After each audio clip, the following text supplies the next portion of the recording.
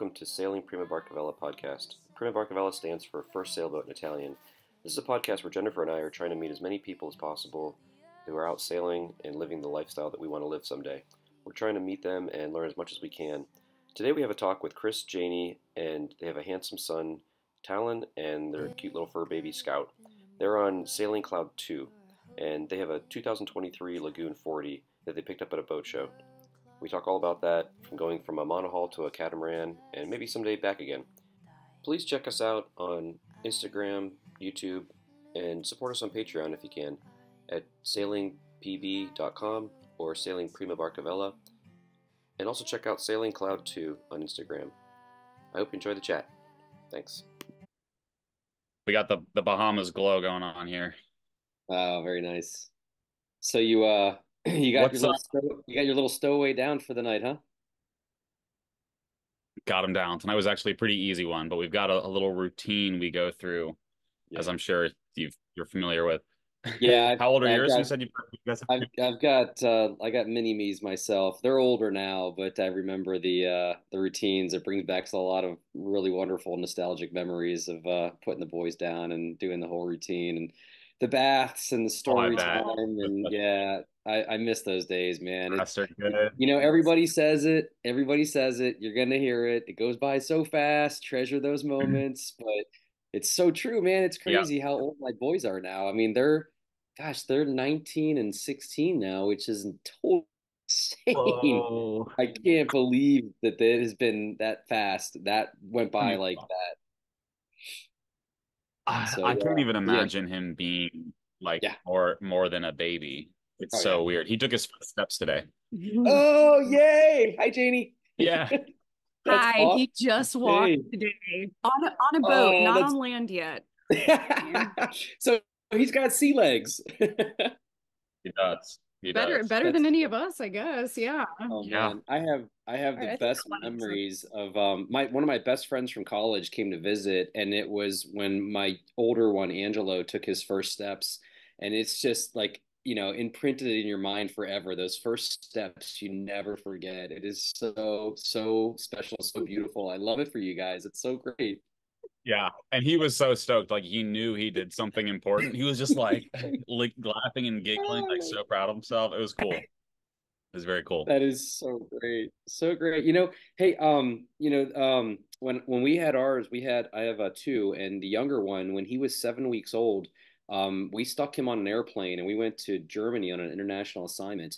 And I want to say Whoa. to you what people said to us. We were an inspiration to people to be able to travel with a young one. And I want to say to you, you're such an inspiration to travel and beyond. I think so many people are so afraid of of taking that leap with having a little one and doing something like you're doing. So kudos to you guys. I mean, awesome that you guys are Thanks, doing man. what you're doing. Thank you. Yeah, Thanks, yeah. man. How's it how's Yeah, it been? I mean, To Janie.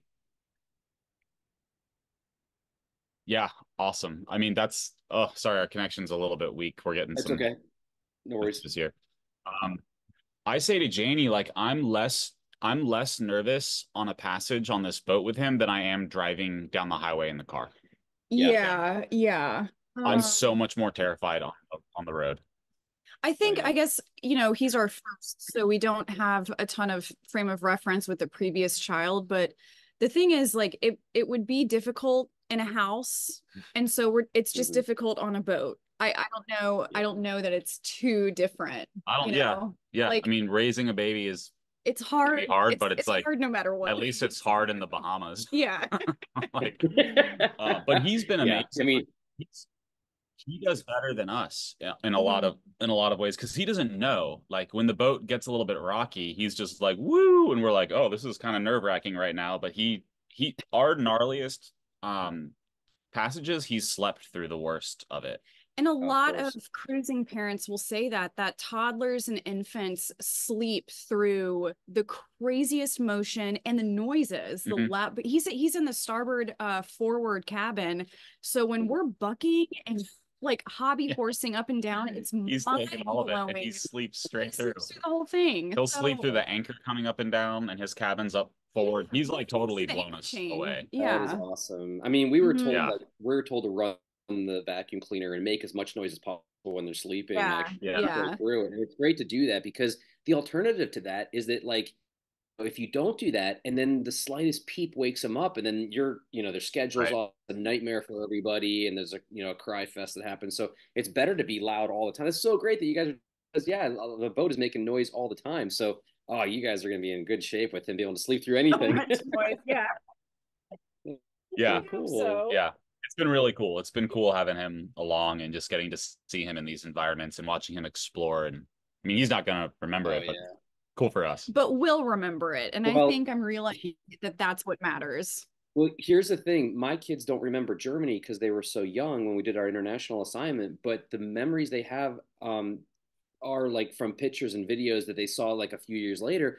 But that stuff stuck with them. Like they both want to go back to Germany really badly. They want to experience Europe. So the stuff that you're doing, even though they might you know, might not remember it, he's going to see it later through all these videos and pictures that you guys have been posting, and he'll you know be so excited about that lifestyle and what he did and and it's going to be great memory i mean it'll be great in a way not memories but great like Nice to hear that. experience that. that he can look back on oh yeah yeah he's gonna he's gonna treasure that That's as much as you treasure it i know it yeah I like that a lot. Yeah. Yeah. sure. So back to your point of um of of sort of showing other people that that this is possible. Um, I always remember before we had a kid, um, we were both like heavy travelers. Mhm. Some boat friends are walking by. Hey. um. Oh wait. bring them in bring them in I know I thought they were. Um. no, they're actually strangers. No, oh wait, no, are they? is- oh, it is them. Yeah, Uh, anyways. Um. nobody's a stranger in the dock yeah, no, that's true. We um we would still travel extensively before we sailed, and I remember clearly, like multiple occasions, there would be um um older people who would see that we were traveling, living this travel lifestyle, and, and they would always say the same thing. They'd say, "Ha, oh, you don't have any kids, right?" And I'd be like, "No." And they'd be like, "Well, try traveling. You have kids." And I always remember in my head, I'd be like, "You know what? I will try traveling when I have kids." i'm gonna show you and while I was traveling, I would meet other people that were traveling with kids, Yeah, and it's that like the coolest. yeah, I, I get that it can be a little bit intimidating, probably, but once you're out doing it, it really doesn't feel that crazy. Yeah, yeah. The, the kids have a great experience. I mean, once they get older and you start to like socialize them too, I mean, what a great like I just hear nothing but great stories about um, kids traveling with their parents and living a different kind of lifestyle and the exposure. And then those kids end up being just marvelous people. I mean, honestly, like I so many of them turn out so great. Yeah, but also, I mean, credit to you guys and and what you're doing. I think that you pass a lot of that on to him as well. I mean, being travelers, being adventurers, being you know energetic go-getters. I mean, you guys have been busy. I can see that you guys are very busy and like you've done a lot and accomplished a lot and you're going to continue to and that stuff passes on to your children too. So kudos to you guys again. Um but yeah, Thanks, let's, man. let's That's go really back nice. to the beginning though. Like yeah, it is. let's go back to the beginning Sure. because like we haven't even done like the intro yet. Like I mean, I think a lot of listeners um would like to hear like who you are, you know, what you're doing, what you're sailing on, how you got this. So can you go through like a little bit of an intro for the listeners? Gosh, well, how do we Where start? we start. Um, Well, we met in college. paraphrase this part Cool. though. yeah, we have a long, we have a, we have a very storied love story. Um, That's a good place to in col- start. We love those stories.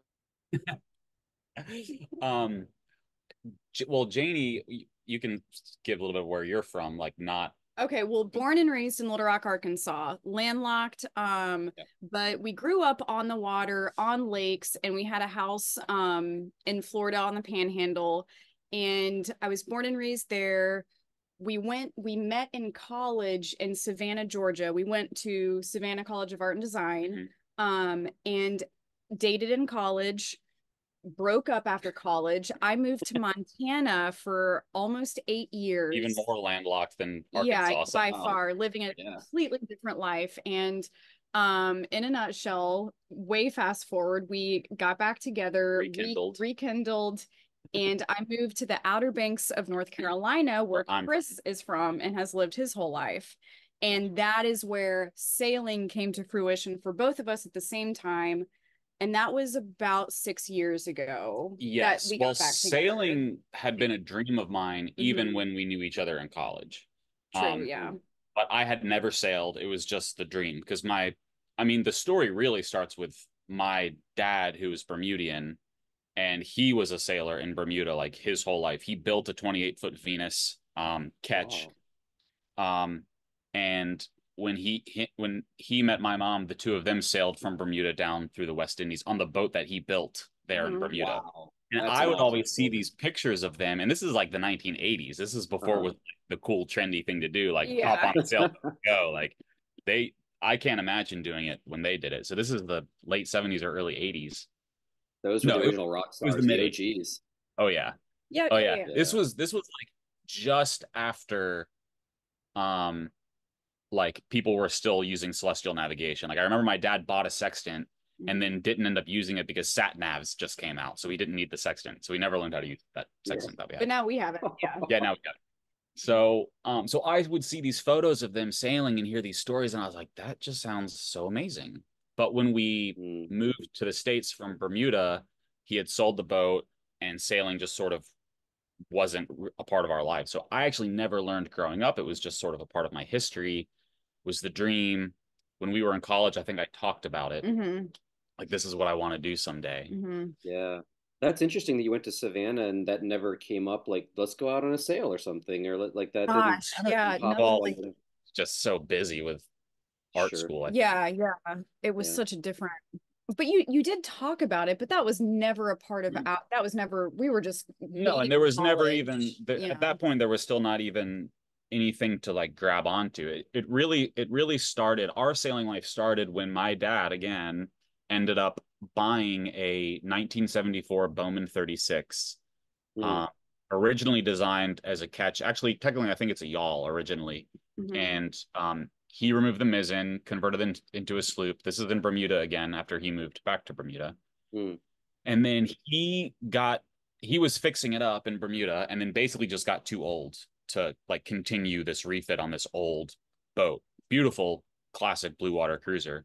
And I kind of came to Janie one day and I was like, what do you think about like me trying to get this boat for my dad and us maybe like living on it and learning to sail? Huh. And I was surprised at how keen you were. Well, yeah. So full credit to Chris. This was not at all my dream. This was never a part of my plan. But Yeah. but again, neither was moving to the Outer Banks and being with Chris. But um, Again. What worked really well and why this is such a mutually beneficial partnership, I think, is that we were also building an Airbnb business. And we had decided that we wanted to try renting our house out in the summer and we needed a place to live in the summer. Mhm. And so that's when That is what happened. yeah, that's when cloud one kind of really fit was a the idea fit more into Yes. So I'm originally from the Outer Banks where short-term rentals, vacation rentals is just a huge Yeah, thing. And I, normal. I saw how well other people would do with it. And so Mhm. when I bought my first house in 2016, it was in the back of my mind, like maybe one day I could turn this into a vacation rental. But that's the whole Right. paradox is like, well, if I'm going to rent out my house, like where do I live? Yeah. And so that's that is where the boat came in. You're right. It was oh and the mutual yeah benefit is that i manage airbnbs for a living i just i'm i'm a property manager i majored in interior design we knew that cloud one was going to need a massive refit Mhm. and so Mm. we sort of just pooled all of our skills together Yep. and that's that's how That- that happened Perfect. So I love this idea. Like the re- a lot of the reason I do this podcast is that I'm trying to learn tips and tricks and share it with everybody. And this is how do we all get out there? We're you're living the love lifestyle that we all want to live, and so this is a great tip because we're trying to do something similar. Um, we have we had rented our place through Airbnb in the past, and the thought had crossed my mind: what if we could rent our place full time and we move on to a sailboat? And like this Mhm.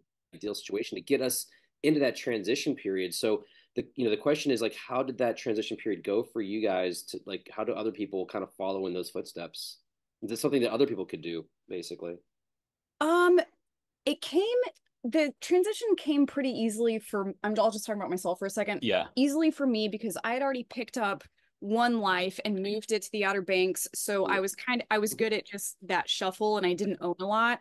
Um, but I'd also worked in the Forest Service in Montana and I was used to a rustic um very outdoorsy environment uh yeah super minimalist um so I was pretty stoked on the idea actually. Yeah. Yeah, I was like ready. Yeah. It's definitely it's definitely not for everyone. No. Like you need to be cool like living with less, living in a small space. You need a Right. pretty strong relationship. You need to like be able to test. It was definitely a test of our relationship. I mean, you're moving into a, a very small space, and Yeah. sometimes it moves.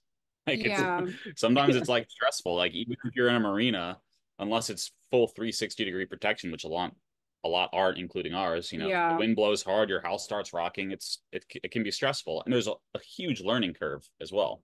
But it really Yeah. felt like I loved- relax- I love two of your posts that you have. One, one of your posts talks about um, you. You mentioned it often, like moving onto a tiny house that floats on the water, and the other one is like you say, like having to be comfortable with small spaces. I love one of your questions. My favorite post that you guys ever did was the question and answer posts, and one of them was from somebody that said, uh, "Do you shit and shower in space?" And like your response was, "Yeah, don't you? Like your bathroom like the same, but ours is just a lot tighter." Right, And I yeah. like, I love that yeah, yeah. yeah, it's um. I mean, it's just a very it's a it's a variation of exactly what we do on land. I feel like most most people could do it if I mean anyone who would want to do it has to sort of have that dream. And if you have Sure. the dream, I I think you're already most of the way there to like if you're fantasizing about that kind of lifestyle, then you can probably do it. Um Yeah. definitely not for everyone. But we Important to took to it really date. well. Yeah, very important to set a date and then work towards that date of. And Yeah. I think that we the way that we inched into it by um having the boat in our hometown and moving aboard, but not immediately cruising. Um Yeah, that's a good that point too. gave us the ability to adapt to live aboard life while Yep. still being in a familiar environment that's not changing abruptly. Right. So That's a good point. yeah, I, I would definitely advise doing it that way if you can. Living aboard really just gets you used to the boat and the space and we huge game changer. Yeah. we would just yeah. take it out when we could, learn the Mm. basics, Yeah. learn how to sail. Take Um, it slow. But it really listening- as far as like the Oh, sorry. Go ahead. Finish your thought. what's up oh i was just going to go back to the um the the um the concept of like living on a boat renting out a house Mhm. um that was again something i remembered from when i would just air travel and backpack. I would meet um people slightly older than us usually they would have families but they were still traveling.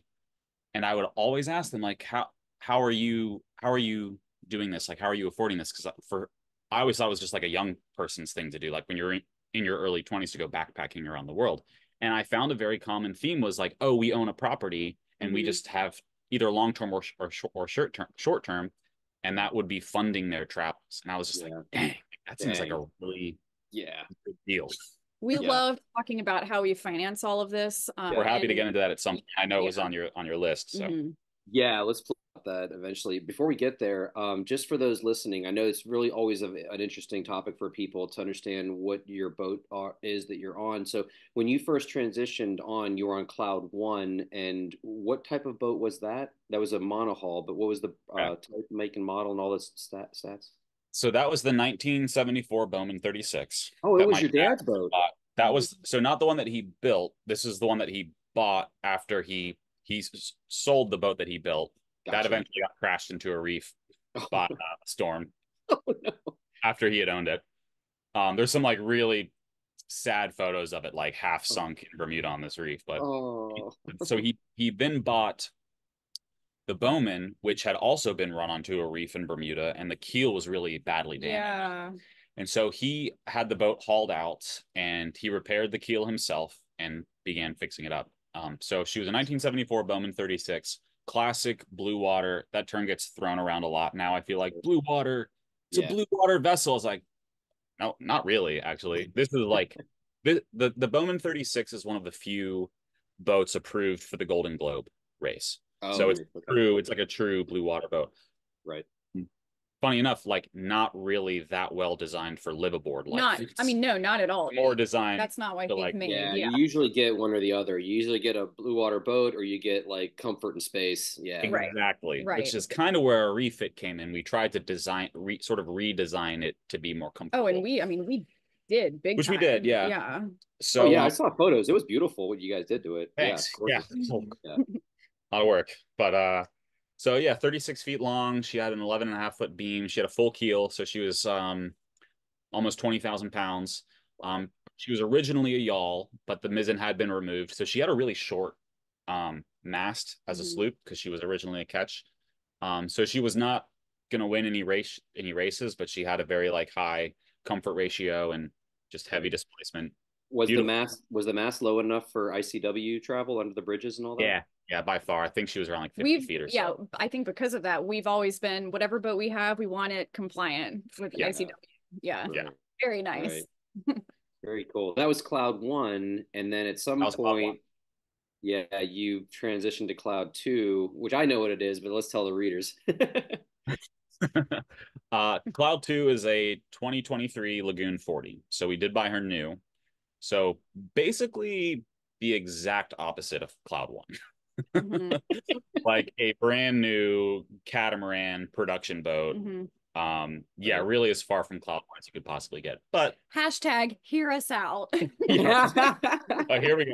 I hear the groans. I hear, I can hear the groans in the audience from here. Oh, Lagoon. blah."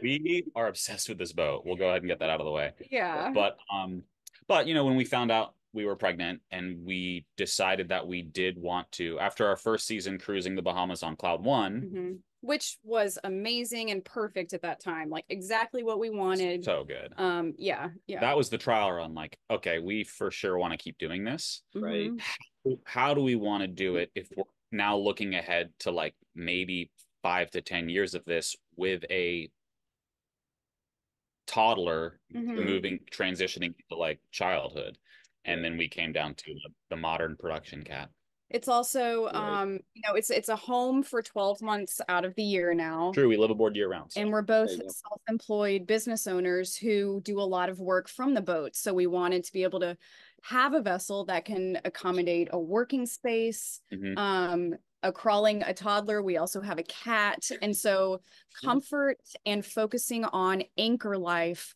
was a major And slip part. life. Yeah, was a major part of this decision. you hear the you hear the oh sure like it's comfortable at anchor it's like yeah Yeah, that's that's it's Right. what we love and for you know i think we just really want to break the stigma we've had so many conversations about this now is that the the whole either or debate you can only either be for monohulls or catamarans yeah Yeah. we love both of them Mhm. um we may go back to you know a, a snazzy monohull at some point when talon's older yeah i don't know yet maybe another catamaran but we've done both and we love both Yeah. both of them are annoying both of them are romantic and magical you know it's Right. it is what it is whatever I'm- chapter you're in that's Yeah. that's what you need Yep. That's exactly right. I think that is something that people really need to take into consideration is where is your lifestyle at at that point? Where's your life at at that point? Right now you're with a small child. You need to be you want to be on something that's more comfortable.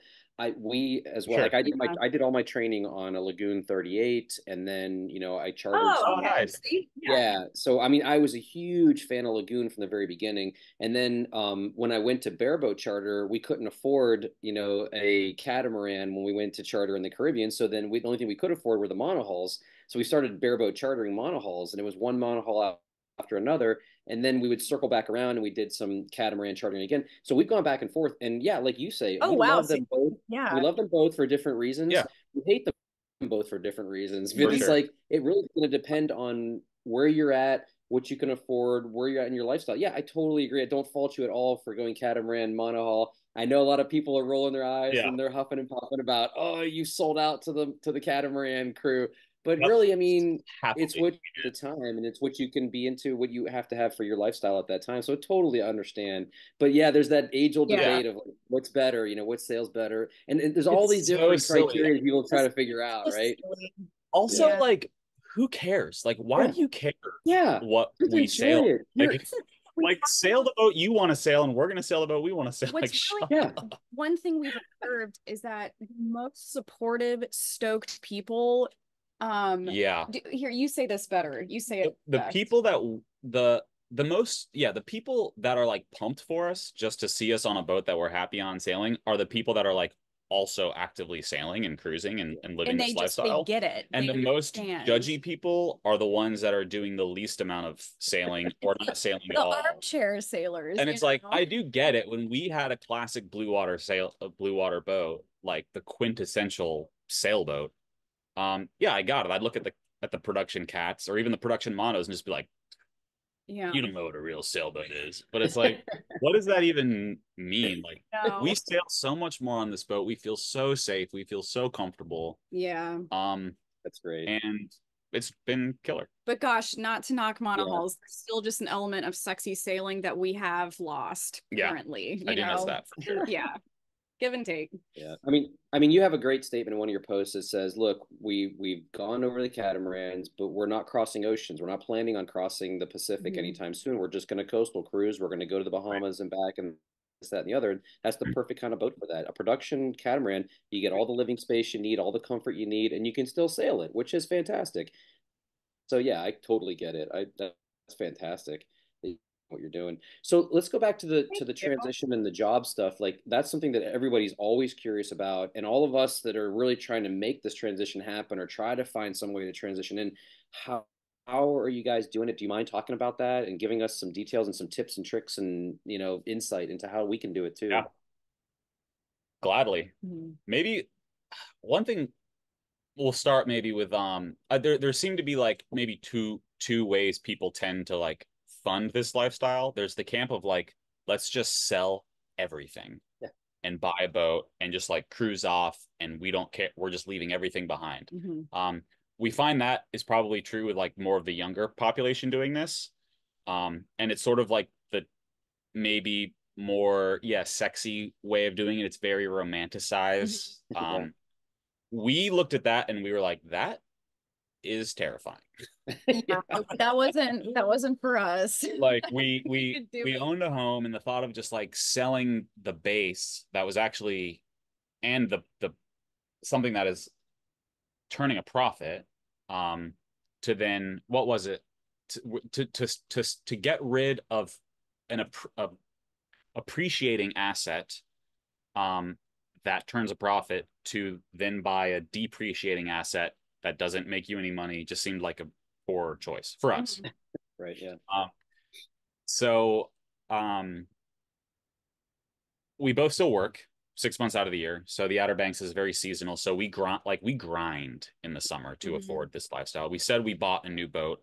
We didn't pay cash. We have a loan. So it's basically we look at it as a house. Like It's our home, it's a mortgage. Yeah. any yeah. people have a mortgage. And actually when we bought it, um, interest rates were still a bit quite a bit lower than they are now. So it's actually less than what most mortgages would even be right now Oh, Yeah. and it allowed us to then keep a house. Yeah. We lev- we took out equity in our first house to buy a second house, so we have two properties that then generate rental income. Right now, during the winter, we have long-term six-month tenants in the homes, and in the summer, we have short-term Airbnb tenants, and we rough it on the boat. Mhm. Rough it on. That's yeah, but brilliant though. Are you guys going back and forth? Like I think um I didn't understand some of the I wouldn't follow it exactly, but it sounded like the first season or two, like you had cruised down the coast to the Bahamas and then you came back to the Outer Banks. Are you Mhm. still planning on doing that, or are you just gonna keep on going in the direction you're going? Yeah, we still work. So we both have our own businesses outside of the rental business. So I run a production company. Um, I do photography and video production, mostly video out. production. Shout Mhm. out. What's the name of Oh, Swell Productions. it? The best. Um, and then You- Janie, You said weddings and we do. I do weddings. A Mhm. lot of a, a lot of the bread and butter is, is the, the wedding industry on the Outer Banks is huge, and I've been do, shooting weddings for like ten years now. So Oh, yeah, I'm sure. again, very seasonal. I can grind Yeah. really hard in the summer for us is for six months, Mm. and then um, and then take off for six months when when there's not a lot. But I also do some commercial work, which if I need to, you know, we've had the discussion. If Mhm. something comes up, book Janie and Talon in the slip. I can fly back to the states and shoot a gig, and then fly back, and I can edit from anywhere. Mhm. Yeah, perfect. I just need to be present on the ground when I'm shooting, and then you've got And your on, business. on top of our two houses that we Airbnb, I uh, manage a handful of other properties that are owned by different people on the Outer Banks. Mm. And all of that is part of the summer grind. Um, pretty much all of them come to a halt in the winter, but throughout winter, I'm able to work remote um, on the rental platform to take bookings for the next season. So Mm. right now, I'm managing um, communications with different reservations that are booking for summer 2024. Chris is taking deposits for 2024 weddings. Right. So we still got a little bit of income in the Mhm. winter. But yeah. back to the point of like sell everything and just go. So a lot of the cruisers that you see like year round cruising have probably done that. Like they've got a healthy savings because they Mhm. just sold everything. But that is probably going to have to end at some point and they're going to have to go back to work. So we've met a lot of those cruisers and that's fine. Like Yeah. Or that's what they want to do. A lot of them are younger. Yeah. Um, we never were really super attracted to that idea, like having a ticking clock Yeah. like a bank account that we just see getting lower and lower every day. We wanted to do more of a six on, six off cruising lifestyle where we, you know, we we still work. Mhm. And it works well for us now and we look toward the future at maybe eventually taking off more and more time if we can find more remote work sure. setups. Which So the, yeah, that Airbnb, the the Airbnb down. Airbnb management is this um something that you were able to find through just like um like pursuing it online or did you know people and you made connections and friends with people who had owned properties and you said hey let me manage it for you or is this something that because like that's something that would be ideal for us like Jennifer and I would be great at like we can manage like we we've managed our own home on Airbnb and we actually had it on VRBO as well and you know I think yeah. that's something that you know we could easily do but I- I don't know how to make those connections like how is that happening Um, well, I had a little bit when I was living in Montana, I was not doing Airbnb. I was working guest relations at a ski resort. So in a way, it was kind of similar. Um, and when we came, when I came to the Outer Banks, it was a lot of small town conversations, word of mouth. It's a lot of word of mouth. Um, we Yeah, started nice. our we started with one Airbnb, and this was all uh Mm. before pandemic. I mean, gosh, COVID kind of plays a big part in this at s- It at does, yeah. some point. But um, yeah, this was pre-pandemic, uh, word of mouth, and it was a lot. I mean, it was a lot of hustling. When I moved there, I was still paying off my student loans, never missed a payment. I was very, very driven to get this private school massive loan done. Yeah. So I was trying to work right off the bat. I wanted to be my own boss, and so I started uh by cleaning houses for You were, huge yeah, um cleaning a lot. rental company like the the 20 bedroom beach house those those companies i was cleaning houses i was deep cleaning in the winter and eventually i was i mean i was just trying to make make a name for myself and it and Yeah. it, it worked out it just took it took a couple years i think It depends where you are, but Um, it's on we live in a good place for it i will say that word of mouth is everything. And and Mhm. I had I had lived there long enough that I had sort of the local card, like people knew who I was. Oh, and right right street they cred. they knew that like, oh, Chris, Chris oh, Chris Mhm. Hannon's wife manages Airbnbs. Mm, People are looking for someone to manage their property. People I- will try to manage on their own and they don't want to do that anymore, so try and find someone else to do it for them. i, but I love the hustle you guys are hustling and Oh, I yeah. it you guys are doing such great stuff it went from the massive company cleaning to um cleaning for Airbnbs. And so I kind of had my foot in the door by then. And then I just kind of backed off of cleaning and started Yeah. managing the properties. Yeah.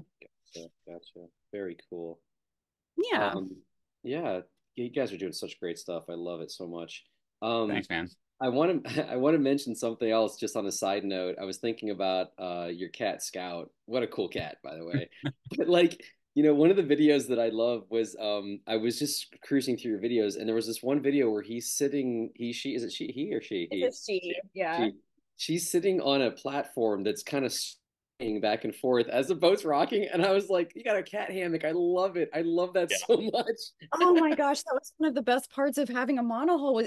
uh, We had a gimbaled cat perch. A gimbal And- cat. yeah. That you like created. She um it hung on one of the grab, you know, the grab rails. I don't know the Yeah, proper yeah, grab rail. And that's so good. I And i think thing it. has been so handy on rough passages because so that was fun. that was her point of balance. Yeah, that was But it was on the it was, it was a- along the side of the boat. So we would when we would heel to one side, she'd swing out into the open. But when we'd swing back the other way, she would just like smack into the wind. she would just she would just tolerate it. She would just lay there, like swing out. bonk. It's good. Lot- there's out. so many cruising cats and dogs. I don't think Yeah. they love Yeah. passages very much. How did uh how did Scout how did Scout and Talon get along? Are they doing all right together? yeah, Did I say Talon?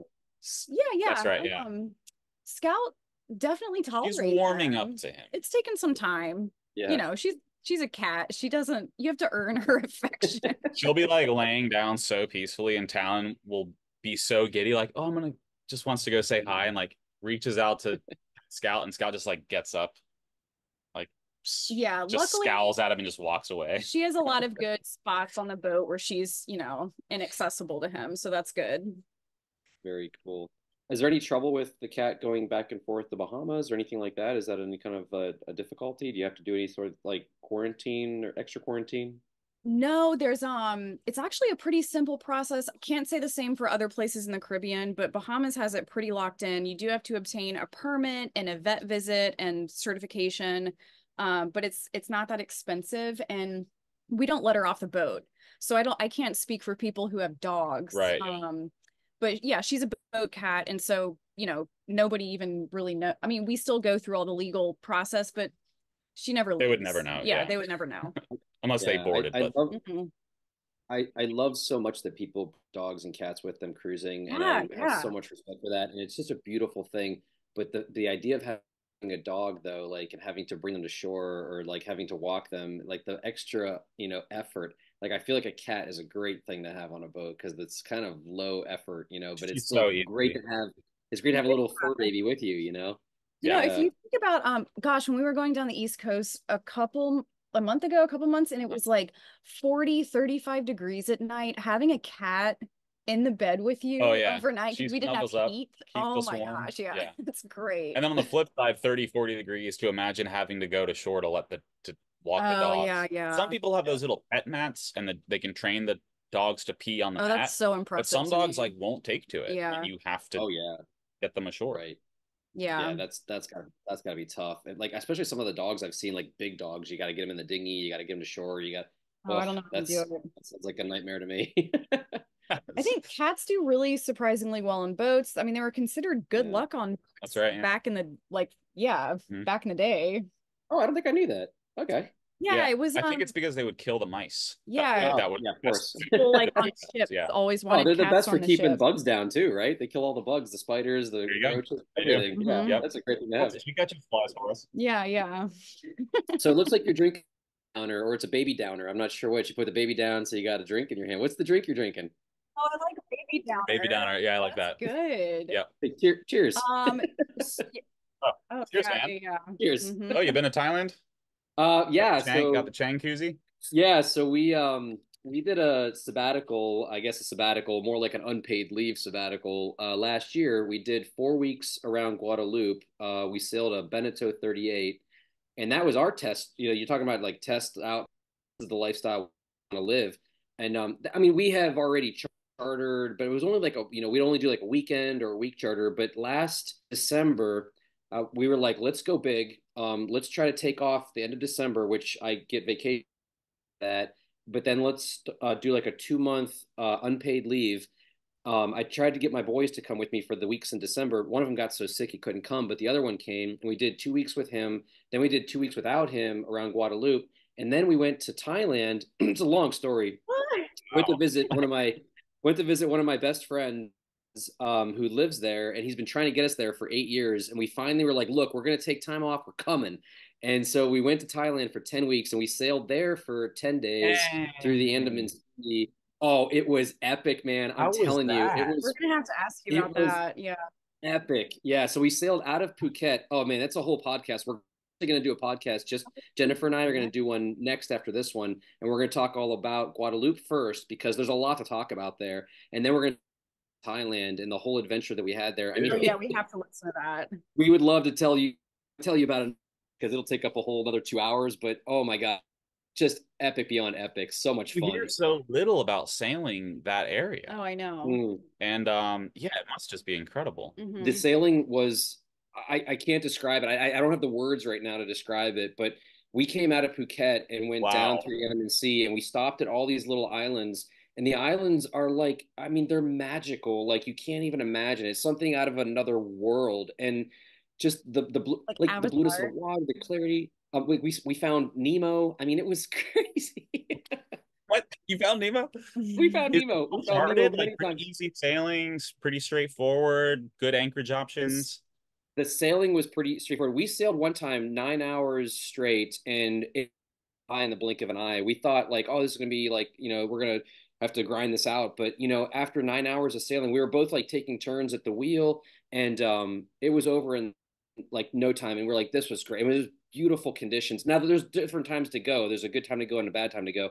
We went. Um, that would have been like January ish is when we were sailing south, and um, the only thing to be concerned about was really like um, they. It's strange. Like there's so much fishing happening there, and there's so many these whimsical fish fishing boats. Like I've got to show you guys some photos or look through some of my stuff from then that we posted. But these boats are everywhere, and then they have these like refrigerator sized styrofoam blocks that have like lines attached to them. So we had to be careful of those where everybody was always spotting them and scouting them and telling, you know, whoever's at the helm, hey, look out, there's one coming.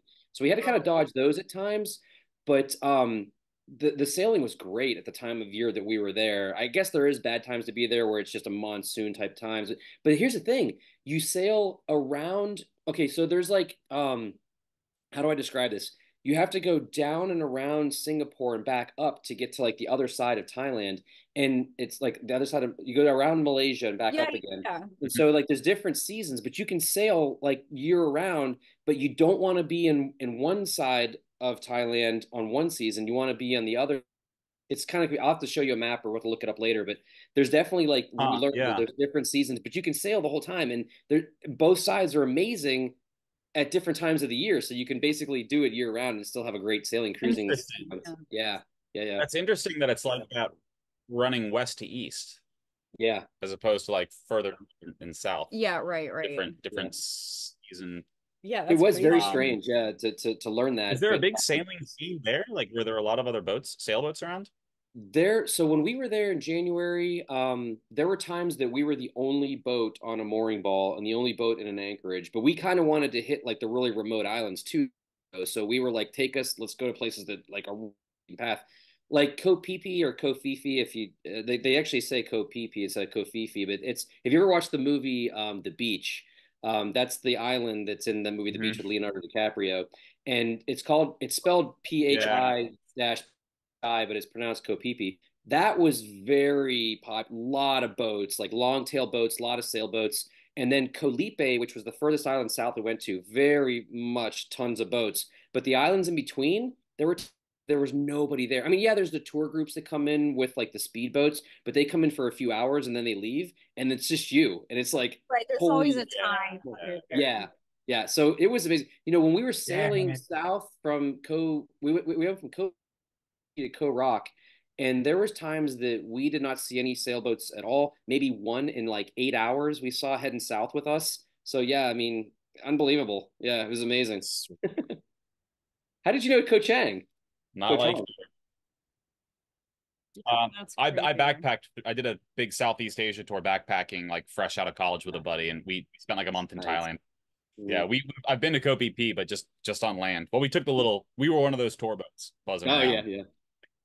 We're gonna have to talk all about Thailand. I can't wait to talk to you about that in the future. But we spend a lot of time like we did our backpacking version of that, and we went up to um Ko um or um Chiang Mai, Chiang Rai, Chiang Dao. We went to the Golden Triangle.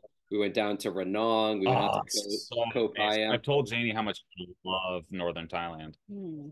Yeah, yeah, you got to get there. Uh, We're we're dying to go back. I mean, I think it for us in the future, it's kind of going to depend on where we find our boat. Like we want to do like a another year or two of sailing, um, if we can, and keep going if we can. But I was talking to some sailors today, and they were like, "Where do you want to go?" And we're like, "Well, it depends on really where you get our boat, but we hope that you know someday we can get back to Thailand and do that again too, because it was just so epic and magical. Yeah, for sure. That's Keep us in the loop. cool. Yeah, I We'll can't join. imagine sailing.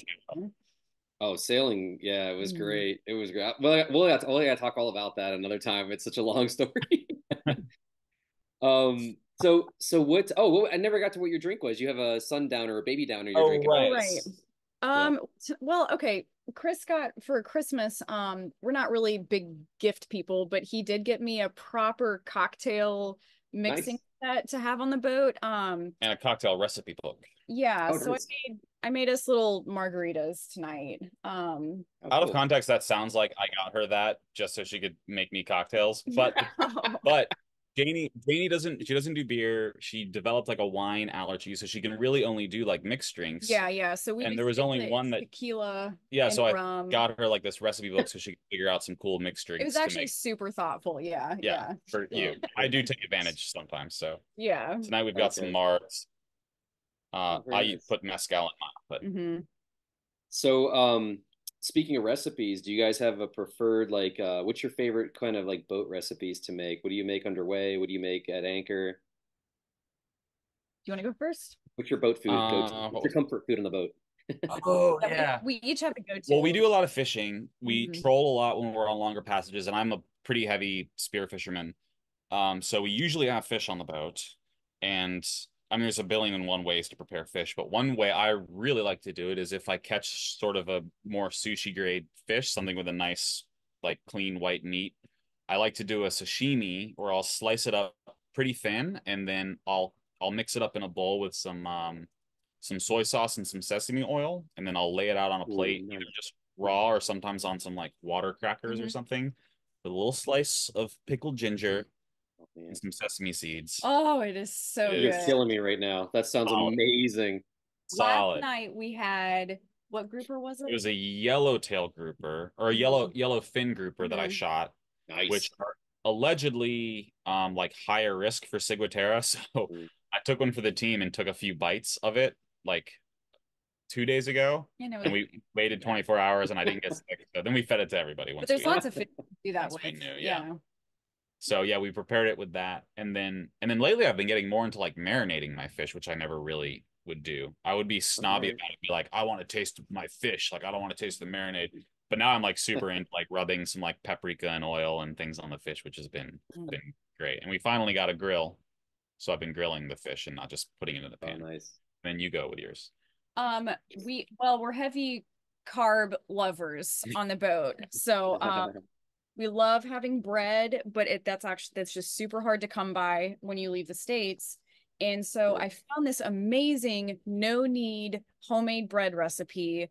Um, and it's Oh. just it's with the uh rapid rise yeast packets. And I I can't remember it's like it's rapid rise yeast with salt, water, flour. I think that's it. And um you actually can just set it out on deck in the sun for a few hours. I guess that's the proving process. Um, and it rises really fast, and then you just you throw it in the oven. Um, I mean, Oh, wow. it's a little bit more labor intensive than that, of course, but super easy ingredients, and it is the most delicious bread I think we've ever had. It's really good. I Having fresh bread on a boat is such a luxury. Oh, Yeah, never a lot, of, a lot of people do bread when they're cruising, and it is the way to go. Yeah. I mean, I get it now. It's been awesome. Yeah. Nice, bread. very nice. So Mhm. spearfishing, um, do you use like the the what's the is there like a in the Bahamas you have to use a um like a s- what's called a sling? How do you Pole spear. Yeah. pole Well, spear? yeah, in the Bahamas, you can't use a spear gun. So you can use a pole spear or a Hawaiian sling. A lot of people use those interchangeably, but they're actually a little bit different. There's pole Oh. spears, and there's Hawaiian slings. But you can use both here. You just can't use a gun, which is what I use. I started spearfishing back home.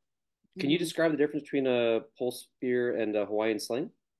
A pole spear is what a lot of people will call a Hawaiian sling, where it's just a straight shaft with a with a spear tip on the end and a band on one end, and you loop the band through your thumb and forefinger, and then choke up on the shaft, and then when you let go, the tension band will fire it, and you kind of have to catch the the band. A Hawaiian sling is um, it's usually a hollowed out um, like cylind- cylindrical piece of wood, and there'll be uh like a spear gun shaft in the middle. It's more like a slingshot.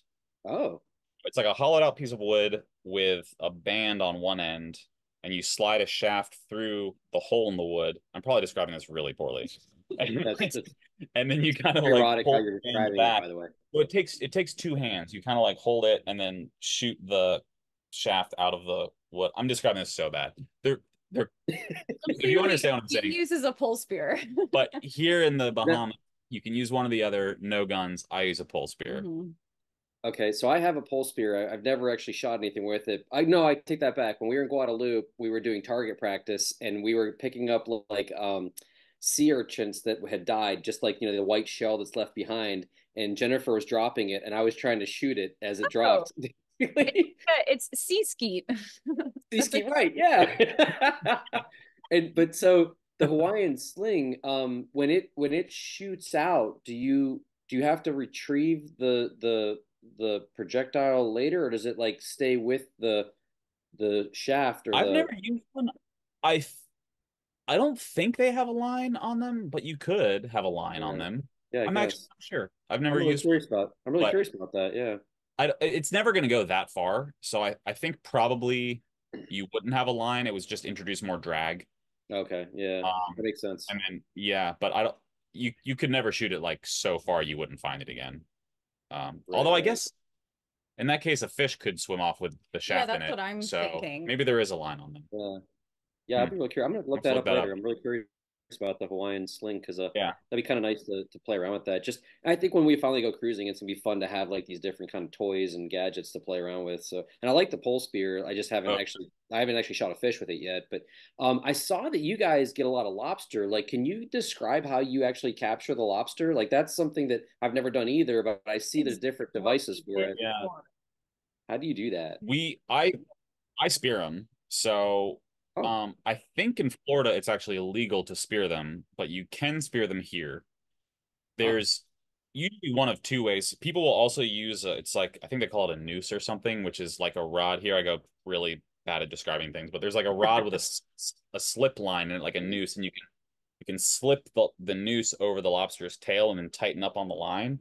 You can catch them that way, which is probably sorry, I'm talking loudly again. Probably better because um if you happen to catch one that's pregnant, you can release it. You're not like hurting the lobster. Mm. Um, but a lot of people just spear them. Um, it's a lot easier to just spear them. So Mhm. I just use a pole spear, and then you Okay. try and get them in the in the body so you're not damaging the the tail meat.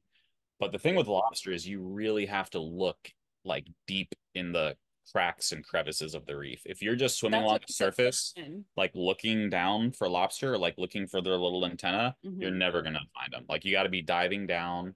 I heard one person describe it as he only ever finds them inverted. In other words, like he's upside down, like looking under Yeah. places. And once you start like really peeking in holes, having a dive light is really helpful. That's when you start finding the lobster, and then you Yeah. just shoot him. So I've seen some people use what they call a tickler. Do you know how to use that? I don't understand how you use that. That's what they call them, a tickler. Uh, that I think a Is that the lasso method? I think that's the lasso mes- method, but you can like tickle them to make them back up into the lasso oh. somehow. Oh, okay. Yeah, Yeah. I'm not the authority on this on this, but What's the gig that that I was that I would use the but that we flounder gig that was a pole spear. Oh, That's just a three pronged pole spear. oh, okay. yeah. So different than yours, but Yeah. three prong. Okay. so you were frog Yeah. gigging a lobster is basically what I'm hearing. We flounder gig back home. Yeah, we flounder gig. Some of my real down south friends do frog gig. Oh my gosh. I'm in South Oh, Carolina. geez. I've heard Oh, about you- frog gigging. Frogging. well, there we it's not go. as crazy. Oh, you're South Carolina. Cool. in Where- Arkansas, we the noodling for the cat Yeah. the catfish. Oh God, the noodling terrifies. That seems like the weirdest, next scary level. thing. pretty hardcore. That is Yeah. hardcore. Yeah, Yeah, yeah. respect to those folks. Um, yeah, so we're in the upstate. We're um, if you look, there's a Lake Hartwell. I don't know if you're familiar with Lake Hartwell. It's a huge lake, um, right on the border of Georgia and South Carolina. It's about a thousand miles of shoreline. Um, so it's like there's actually some really nice Oh, sailing wow. grounds for a lake. I mean, today I was actually out. It was oh man, it was brutal. It was 45 degrees, but I had to um, volunteer for the um, sail committee once a year. I'm in the sailing club here, and uh, we were out with the sail the sail um, sailing committee, the race team committee. I'm sorry, I was in the race team committee, and uh, we had eight boats sailing and racing. And uh, it was brutally cold, so I was fantasizing about talking to you guys and hearing all about the Bahamas and the warm weather. That's great. You still get to have a place to sail though. I have a lot Yeah, of yeah, respect for for, lake now- sailing. Yeah, I mean we're we're lake sailing is great because you learn a lot, you're tacking a lot, you know, you're jiving a lot. Um, it's Oh, great learning how to sail and to continue to keep your skills up in the meantime while we bide our time until we can get out there and live the the wonderful lifestyle that we're fantasizing about that you guys are living. So we're trying to, you know, keep our skills up and you know, then we try to do some chartering here and there once in a while as well. Yeah. Yeah. I So mean, we so we're- sound sailors basically lake sailing before we Mhm. cruise. We were just sailing on the sound for Oh, years. yeah. Gosh, same for same deal, just time. tacking. Can't really go that far. So when you say the sound, is that like you've the- got the Outer Banks like barrier islands that protect like the inland water and you sail inside there? Correct. Yep, How is that? exactly. The in, there is an inlet where we live, but it's So terrible inlet. Yeah, like okay. you couldn't pay me to try and take a sailboat through that inlet. And in fact, a few of the sailboats that have tried to last minute alter course and go in the inlet, if they get in trouble, they inevitably run aground. It's, Yeah. Oh, it's bad, no. very shifty, heavy current, very shallow, Yeah. poorly maintained inlet. Mhm. Oh wow. Oregon inlet. I got Stay away from Oregon inlet. Yeah, I mean, on that note, that's why we have to have an ICW compliant boat. Right, yeah, we actually have no choice, to 'cause- get into Manteo, where we keep the boat. hmm We can either go out of the Chesapeake Bay, which doesn't make sense for us because it's further north, or Beaufort Inlet is the next next like Mhm. viable inlet Okay. for us. I saw that you had uh, were in Beaufort one of your posts, but then I think you also went to Beaufort, South Carolina. Is that right? On your way south? Yeah. Love. Beaufort, North Carolina, Beaufort, South Uh-huh. Carolina. uh-huh. Yeah. Beaufort, Beaufort, South Carolina is always going to be one of our stops. We love it there. Mhm. Oh, really? Okay, so we we stopped in there Okay. um on a vacation. We were heading south, and we stopped in there for a day, and we just happened to hit it during uh I think it's called Waterfest. What an amazing festival they have there. There were so many boats like coming What and going, and there's a whole like festival that happens. And I don't I think it was around I want to say it was July timeframe maybe. Um, it was so cool. I love Beaufort, and we were only there for like a day, but I was like, ah, we got to get back here. It looks Oh man, that'd be really cool to see. When was it? July? I want to say it was in July. July. Yeah, the Waterfest in July, and I mean it was pretty epic because on on land they, you know, music and booths and vendors, but then just offshore there was like this um, like crazy flotilla of like thousands of boats. I got to say thousands of boats. Literally, it was insane. It looked to me there were sailboats and powerboats and everybody just looked like they were having an amazing time. Got to get there. For That that, sounds for sure. awesome. Now, did you guys ever Beaufort- stop? Beaufort- Did you guys did you guys ever stop in Charleston on your way down, or did you go? You always like blow past Charleston? Haven't. We passed Charleston. Yeah, on the way, we uh, haven't stopped there. So we stop at um in Beaufort and Savannah, which are both pretty out of the way if you're just like trying to shoot down the East Coast. Yeah, and I think because we love those two stops, we bypass Charleston. Gotcha. yeah, yeah. I Yeah. Charleston is where Um, I did I my think the- um, training. Yeah, I did my training through the um, Charleston Sailing School there. Shout out to those folks, Will and Lynn. They run the Charleston Sailing School. They are absolutely amazing. Um, I did all um, my bareboat chartering um, training, the ASA 103, 104. I did there, and then I'll charter. We'll charter their boats because they have actually a charter fleet there, and they'll charter. They have I think like seven or eight really wonderful boats from catamarans to monohulls, um, and they are like just fantastic as far as support. Um, like our our routine is like we'll come out of the Charleston, go out through the jetty, then go down the coast, and we'll tuck into like Edisto, and then we'll do the ice back to the Charleston Marina. And depending which way the weather Cool. is going, we'll either go like clockwise or counterclockwise. Um, yeah, and we we love going out of there, and uh, so that's like our our fantasy is to hopefully maybe do what you guys did, like move onto a boat. Maybe we could onto a boat in Charleston somewhere and kind of transition our way Dude. style.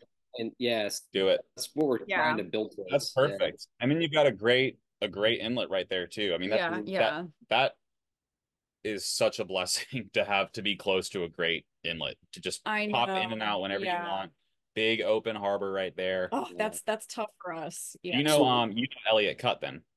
Yeah, yeah, right. I love Ellie. Uh, yeah, we had one of our scariest experiences ever on a sailboat in Really? Elliott. there. Of all the sailing we we did, it Yeah. was at the very end. Happened Just in right a little slice of the ICW. Was like one of the gnarliest experiences we had. Oh no.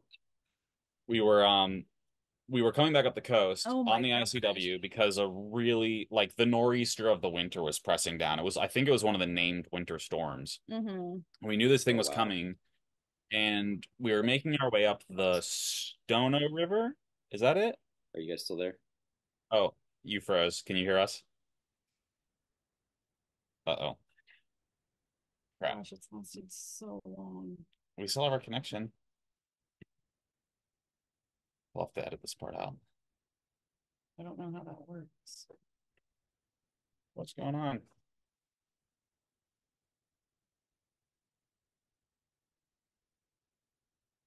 Check one, two. Crap.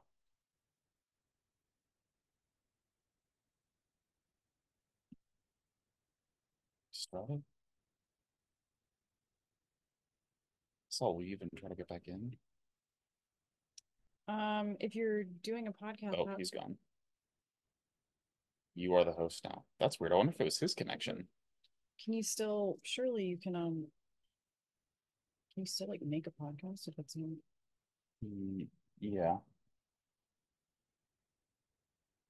We'll just have to edit this out. Well, is he on Instagram? How do you get a hold of him? Oh, yeah, let me check on there. He's typing.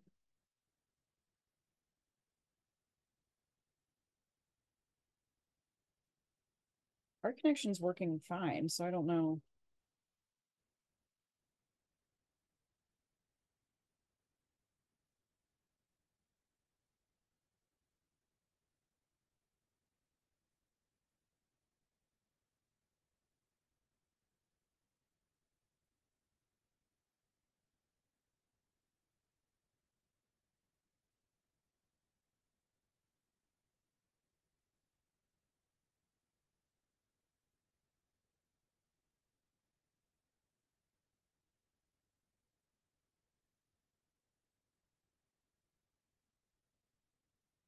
Said it might be on his end.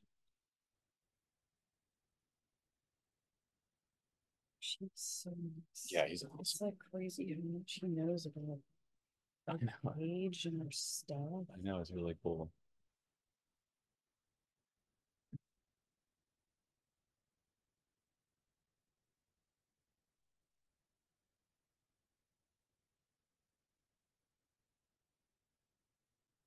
We try to. What's not working? What's not good? Yeah, yeah, we're actually doing a, we're actually in a podcast, but the, we just lost our connection. We're trying to reconnect. babysitting.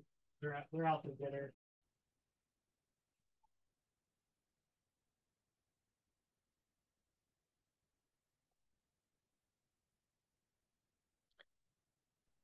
Are we back? Are we back? Holy moly. Oh. All right, hold on. Janie started folding some laundry. Yeah, no problem.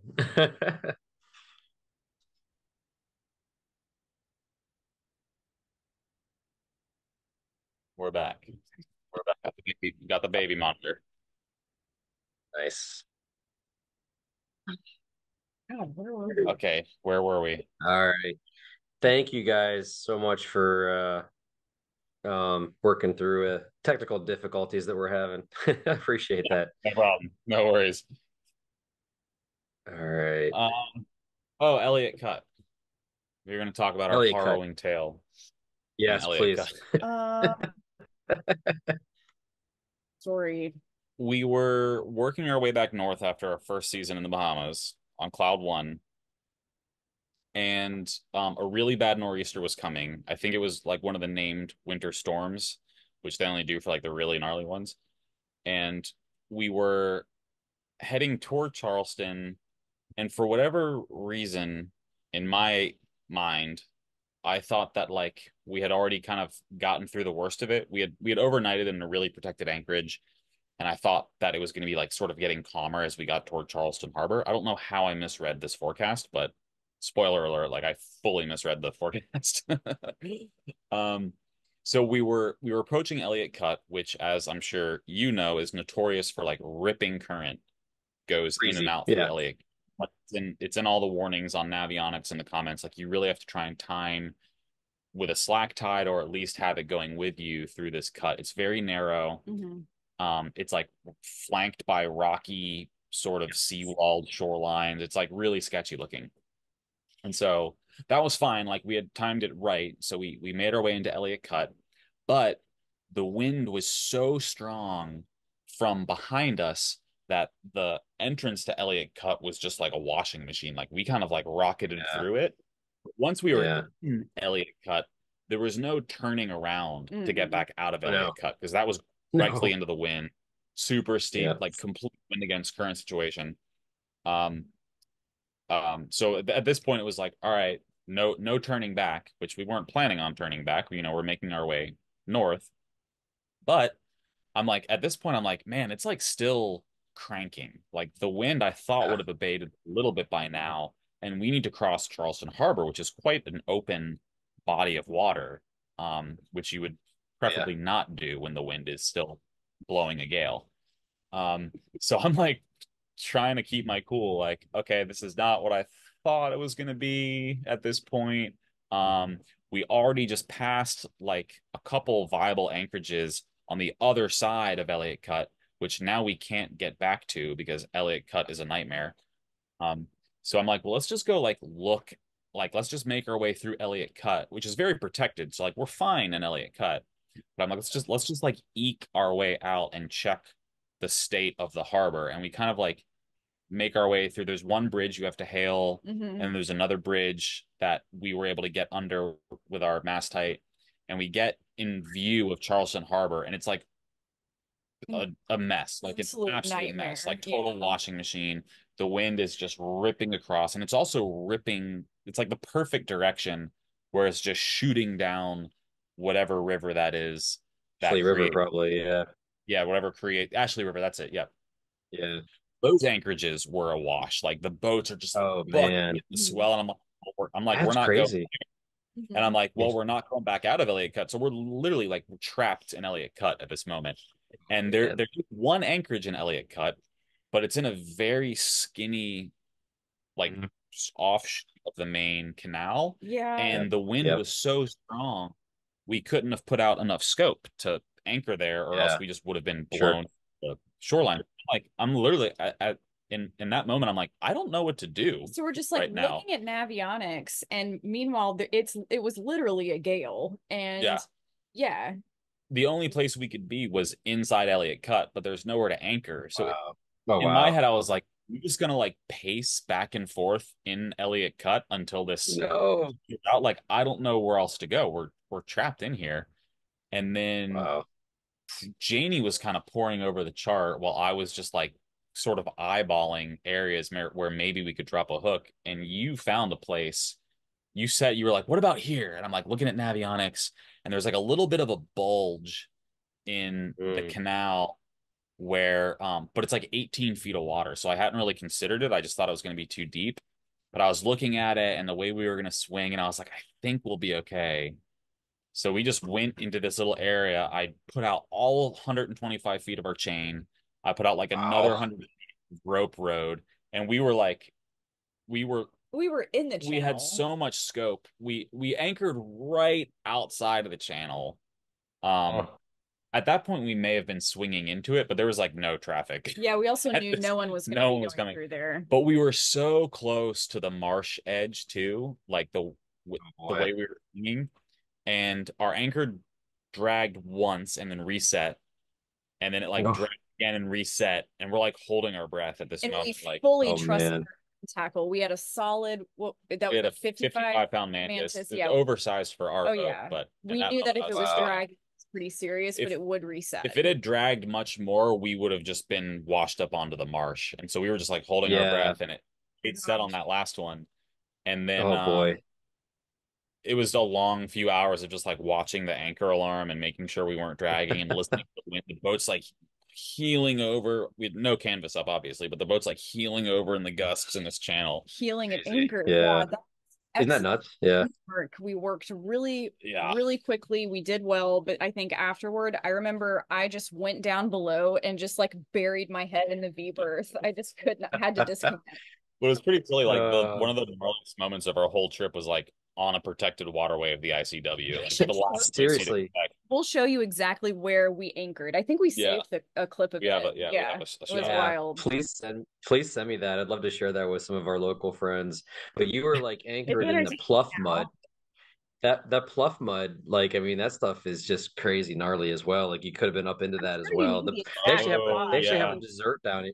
You ever heard of, you've heard of the pluff mud? They have like a dessert that people make down here. It's like a oh. chocolatey But like when you say cake, that, and like, it's called pluff mud cake. That's So is yeah. pluff mud mud just cake. super soft mud? Just like super soft and like you, you if you step into it you sink down to your knees and uh it's it's all Yeah. over the marshes down there and i think yeah when you dug in with your anchor it probably wasn't holding very well and it probably slipped through that stuff yeah that's it's a did crazy a uh, times situation down there that's like, nuts hit solid. That was so Yeah, terrible. Elliot- Elliott- it was, it was such an interesting story. place. It's so rare to like enter a little waterway that you like can't go back out of. It's like, oh, Mhm. we're stuck in here Yeah. now. Like you're not going back through that. Yeah, that's that's Mhm. wild. Yeah. Yeah, there's the storms blow up fast there too. Like we were we were there in the Charleston Harbor um in July 4th weekend, la- not this past week year, but the year before. And um we I mean, the weather conditions were supposed to be great like the whole weekend and out of nowhere these giant clouds dark like just started to billow out of nowhere. They popped up and then I've got this really amazing photo of like lightning bolts hitting the Ravenel Bridge, which is like the big, like picturesque bridge that goes across the harbor. Oh, And it's just Wow. crazy. These lightning bolts are actually hitting the bridge while we're sitting there. And I'm like, well, this is sketchy. like, this is scary. It was, it's a, it's an interesting really- area to sail for sure. Most of the time, most of the The time it's fine. I mean, is I, we've been out gnarly. there where like, yeah, yeah, I mean, it can get gnarly. The, the the way that the current rips through there, I think, is the most, you know, this the most wild thing of how fast it can. And like the tides are like you, you can have like a king tide, it's like six and a half feet in that oh, area, Oh, yeah, which did is that. completely Yeah. insane to deal with. It's Yeah. wild. Yeah, tides, I'm sure Georgia you're and South with that Carolina. North Carolina. Yeah, we don't So have them what are, too. what are some our of your favorite Oh, sorry. I was going to jump into like what are some of your favorite like anchorages and stuff that you hit when you're on your way down and back up again? Not Elliott Cut. Um, oh, For sure. the East Coast, I mean, surprisingly, we've only anchored there once, but Cape Lookout is an awesome Mm, spot. The Cape Lookout Bight is a sick anchorage. mhm. Where's that? Where's that?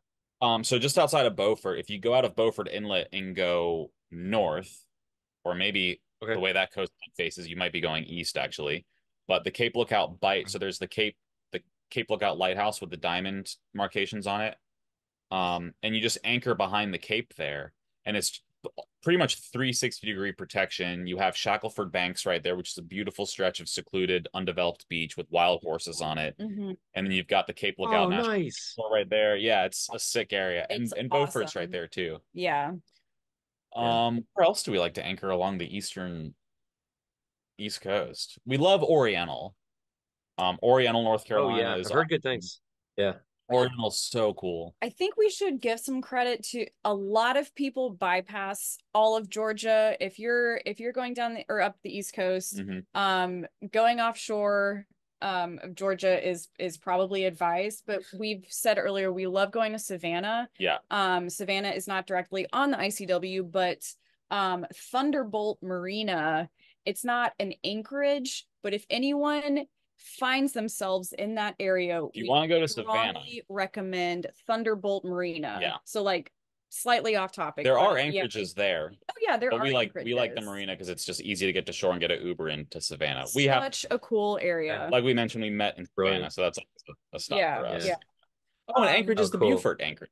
Beaufort Anchorage right downtown. We love that. Easy, quick dinghy ride to Yeah. town. We stay in the St. sure. Augustine. Get a mooring ball at St. Augustine. We love that as a stop. We do a lot of big Love St. hops off. Augustine. Yeah. St. Augustine's cool. Yeah, East Coast, the Yeah. we really try and do big jumps offshore and then just like anchor for a night. And then our, our, our crossing point uh, uh, from Florida has been No Name. We love No Name Harbor. Yep. That's just a great Okay. spot in Key Biscayne. really good yeah. place to stage for a crossing to the Bahamas. hmm Oh, great tip. Thank you for that. Appreciate that. So where where about are you guys right now? Like I don't know if you want to give the exact location, but where about are you? Oh, we're in Chub Cay Marina in the Berry Islands in the Bahamas. hmm Okay. So cool. this is- what are is- what are some of your favorites? Oh. Say again. Uh, I was gonna say, what are some of your favorites um, through the Bahamas? I know Berry Islands is one of your favorites for sure, but what are Oh, some of your other favorites along the through the Bahamas? Um, anchorages Yeah, where would you advise? in the Berry Islands, Hoffman Cay. Yeah. Hopkins Key is cool. It's a blue hole there. Um, but it's a Ooh. blue hole sort of in the middle of the island. So you you hike, it's not a long hike, but you hike up and you can sort of cliff jump off into this blue hole. And it's just a beautiful Hoffman anchorage. Key is gorgeous. There's really good spearfishing Yeah. there. There's reef, really good reef a little bit north around Soldier Key, which is awesome spearfishing. Um, our favorite anchorage in all of the Bahamas that we've been to is called Schooner Cay, Mhm.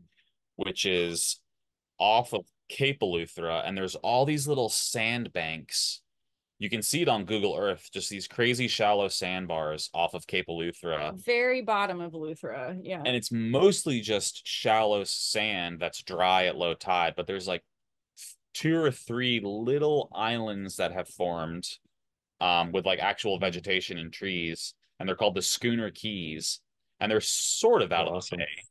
And the it's not well charted, so you kind of have to visually navigate your way through. When we went in Cloud One, she was a deeper draft boat. She drew five and a half, and um, we made sure the sun was high. high sun. and I we- took the drone we up used the drone.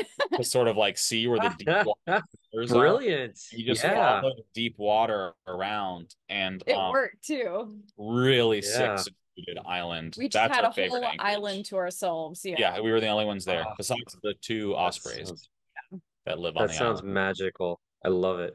What uh, side note? It's a charted Side anchorage. note. big, yeah. Mhm. On, on as a side note, um, I did want to ask you that you have some great drone footage. You mind me asking, what is the drone that you're flying? Right now, I'm using the Mavic Air 2S. So it's one of their smaller Okay. ones. It's not their Pro model. It's not the Yeah. Mavic, but it's smaller and lighter. Um, and it's been serving us very well. So, I mean, DJI is kind of the go-to, any of the DJI drones, but the, the Air Mhm. models and the Mavic models are the best. Yeah, I've got a Mavic Air. I think is the Mavic Air is what I've got, and I really have some great footage from that. But I'm not as I'm not using it enough, and I have not the expertise that you have. It looks like you are taking some amazing photos. I love your drone footage. Really good Hard to get bad aerial photo in the Bahamas. It's like so, So beautiful fun, from yeah. the air to get that perspective and the Yeah. color, water, and everything is is awesome. Cool. Um, just I don't I don't want to take up too much of your time. I've already taken so much, and I really appreciate it. Um, What? what are we a couple of great. like, bo- this has been really fun. I really enjoy this. What are some Cool. uh, boat gadgets? Like, what kind of like toys do you have on the boat, or like kitchen gadgets, or just boat gadgets, or like like essential like boat gadgets that like you're like we can't do without this. We love these devices. I feel like you're gonna be good at answering this one. Well, you talk about like toys. I'm trying to think of stuff in the galley. Um, Bread maker, ice maker. No, you know oh, what? your little ice, your little ice things. My ice things. The pop. What do you oh, even call um, them? silicone. Oh yeah. Uh, well, well, on the silicone anything. So silicone, um, like cube trays for freezing food to store and for just like big cocktail ice cubes. Um, and then we got from there's other cruisers. I don't know if you know Ajax. Where is Ajax on Instagram? They're these really popular. Shout out Ajax. yeah popular sailors um she she taught uh, or she told us about this um ice it's an ice tray but it it's enclosed. So if you have a funky freezer on a boat like a drop down or something um you fill the tray with And it can't water spill. and it can't spill. So you can just like toss it in whatever strange makeup of, of a freezer you have on board. So that's been great. But the then, benefit of the um, cool thing about that is the way you like fill it yeah. and um it's like an accordion style almost. So when it once the cubes freeze, you pop it open and you can just dump all the cubes out. yeah we're talking way too much about an ice Oh. cube tray like that's ice, Ice cube on a no, boat. I love it. cubes are oh, huge Oh no, boat yeah yeah, no. Jennifer, Jennifer's like number one request. She's like, we have to have an ice maker or some way to get ice because like she's like can't do it without ice. Yeah. I'm like, all right. Oh, that's the Good to guy, know. the water maker. This we finally have a water maker. oh yeah. gosh yeah the, the water Rain Man maker. water Oh, maker. That's just like total game changer. Mhm. USB chargeable thing. So like these lamps are pretty cool Ah, gadget. yeah. yeah yeah So like this isn't drawing well, we're plugged in right now, but like this won't draw off our battery bank. It's just wireless USB Oh, nice. lamps. Yeah. Like wireless USB everything, Mhm. speakers. Cool. Um There is one thing I do have to ask you about. There was a post you had that talked about a do-it-yourself autopilot. What was that? You did like Oh, your the- own like install oh on cloud one I just installed the autopilot myself on Cloud One. So it was a Raymarine Oh, okay. autopilot. I did the He- full on Okay. a lot of credit on a boat that was never designed to have an autopilot yeah. yeah They didn't have them in 1964. yeah or not Nice. electronic ones at least.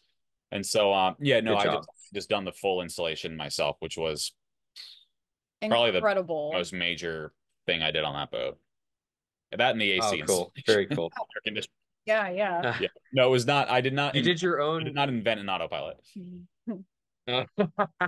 I was wondering because you know you got the you got the the wind vane and then you got the electronic autopilot.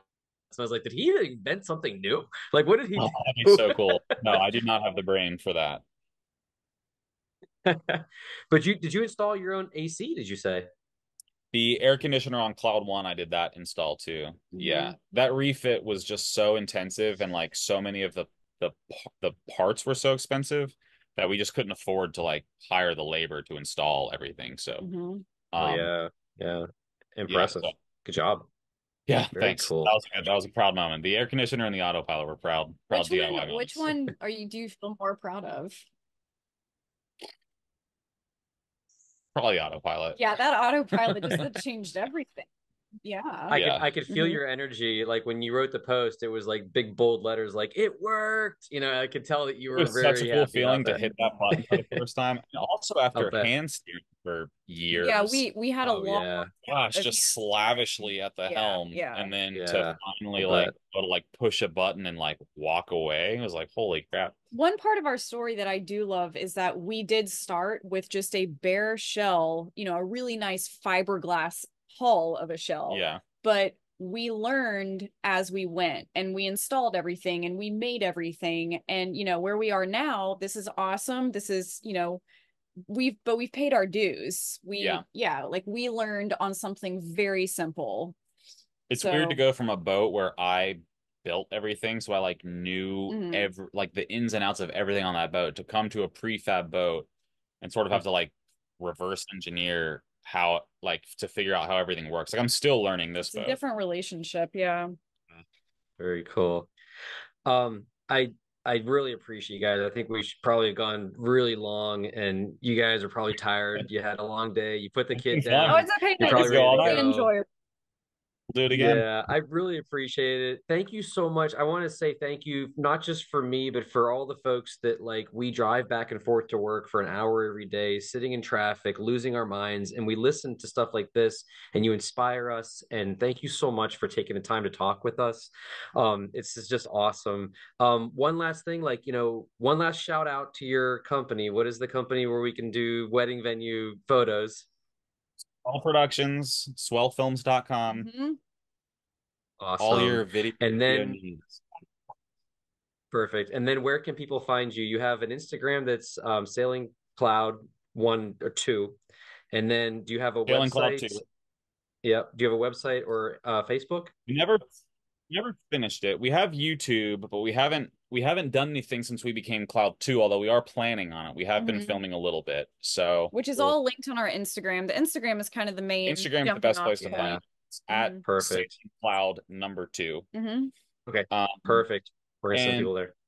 and we are so happy and proud to to inspire if you will other people and we're very invested in this lifestyle and we have a lot we're very happy to share things that we've learned along the way. So i will i would encourage people if you have questions or if you want to do this reach out to us. We're happy to answer questions dm us whatever. Mhm. like we geek out on this stuff. We're happy to talk more about like finances and i know it's taboo don't talk about money in this country but like we're very happy to talk about money and how to plan and financially plan and we're open books. Um, hmm thank you so much. You guys have been Thank fantastic. I really, really appreciate this. Love Awesome. this. I can't Yeah, wait to meet up with you yeah. guys someday out there. let's Please, do it yes, we'll let's go one, together. we're one Please. state away let's do it Yeah. All right, let's do it. Yay. All right, I'm so happy. anytime. All right. Thank you so much. Hey, Thank uh, safe you. travels and sweet dreams and hug that little one as much as you can because they grow up so fast. Oh fast. my And gosh, There's going to yes, be a day. There's going to be a day when you put him down and you never pick him up again. And that blows my Don't mind. say that. Don't say that. Don't say that. Oh, right. No, no. So pick him up as much Oh. as you can. Say that, Dad. i know it's all it's All been right, awesome. Oh, y'all. you're right. Thank you. Take All right, care, buddy. you guys. Take care. Can't wait Bye. to hear from you guys again. Bye. We're going to follow you a lot. We're going to send everybody your way. Take care. Bye bye. thanks babe. bye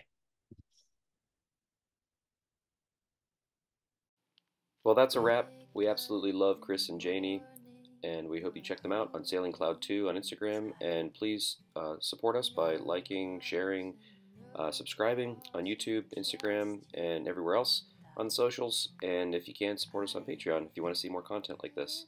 Thanks again. Loved having this chat, and hope we see you out there on the water someday. They're my paradise. Taking me to the ocean where I find my true self.